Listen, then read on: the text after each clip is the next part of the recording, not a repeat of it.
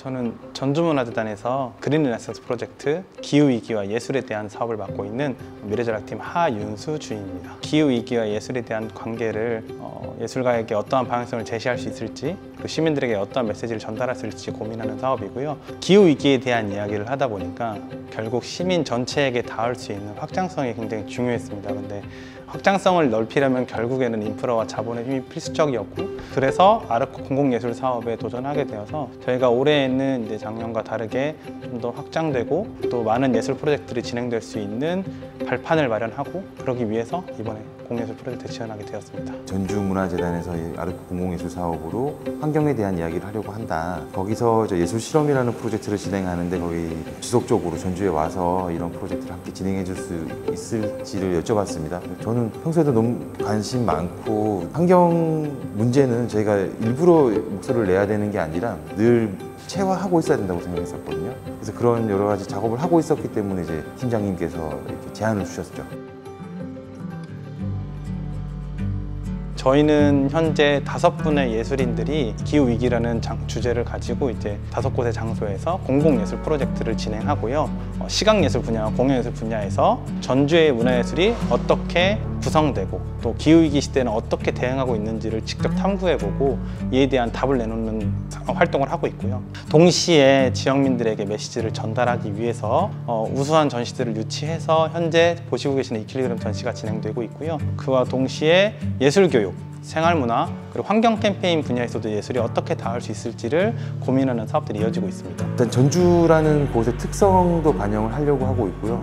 그리고 전주 시민들과도 어떻게 함께 뭔가를 나눌 수 있을지도 고민하고 있고 예술이라는 게 한편으로는 그 일반 대중들과 또 동떨어져 있던 면도 있었거든요. 굉장히 어렵고 뭔가 그 철학적이어야 되고 그 그런 편견들이 있는데 그런 것들을 좀 많이 허무는 어, 그런 작업들을 좀 해보려고 노력하고 있습니다. 이퀄리브리엄 전시는 평형, 균형이라는 뜻을 갖고 있는데요.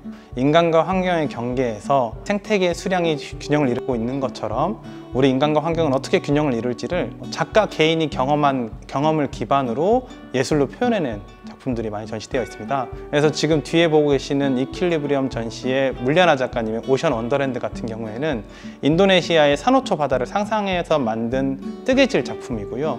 이 뜨개질 작품에서 받을 수 있었던 메시지는 작가님이 물어보시더라고요. 이 작품을 부술 수 있냐고. 근데 작품을 부술 수 없다고 사람들이 말하니 하신 말씀이 근데 왜 우리는 바다를 부수고 있나요? 라고 하신 말씀이었어요. 저는 공공예술이 맞닿아 있는 부분이 이거와 같다고 생각합니다. 예술이 가지고 있는 메시지를 어떻게 확장할 것인가 그 부분에 대한 이야기를 다룬 게 이번 전시라고 봐주셔도 좋을 것 같습니다.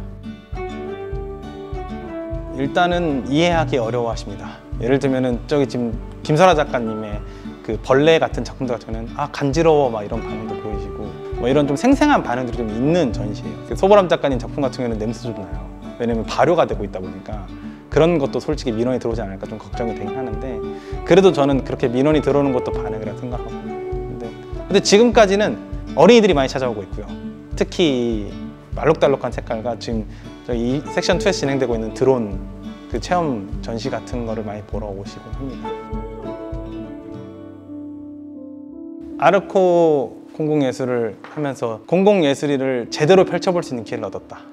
왜냐면 기후 위기에 얘기를 하면 은 사실 예산이 없어서 하고 싶은 걸 해도 못 하거든요. 근데 공공예술에 대해서 이렇게 지원을 해주시니까 본질적인 예술의 본질에 대한 이야기를 고민해 볼 수 있고 또 본질적인 부분들을 건드려 볼 수 있는 기회가 생긴 것 같아서 그 부분에서 가장 좋은 것 같고요. 두 번째로는 저희의 활동에 대해서 지지해 주시는 게 그렇게 느껴집니다.